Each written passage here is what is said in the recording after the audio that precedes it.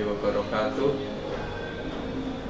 Alhamdulillah Politeknik Negeri Banyuwangi dipercaya untuk menyelenggarakan suatu kegiatan internasional dengan nama Creativity Station bekerja dengan Busan National University Korea.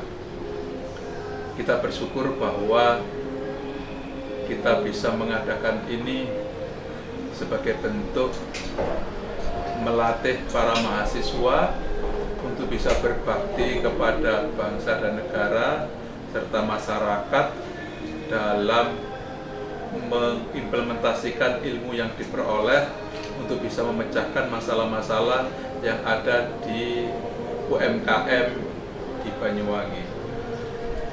Kami harapkan bahwa dengan adanya Creativity Station ini mahasiswa tahu bagaimana apa yang dibutuhkan oleh masyarakat sehingga ilmu yang diperolehnya itu bisa berguna bagi masyarakat dan bangsa. Sekian, Assalamualaikum warahmatullahi wabarakatuh.